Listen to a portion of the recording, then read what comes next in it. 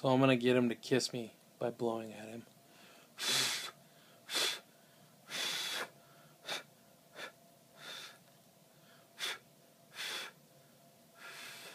Oh, here, come kiss me. mm.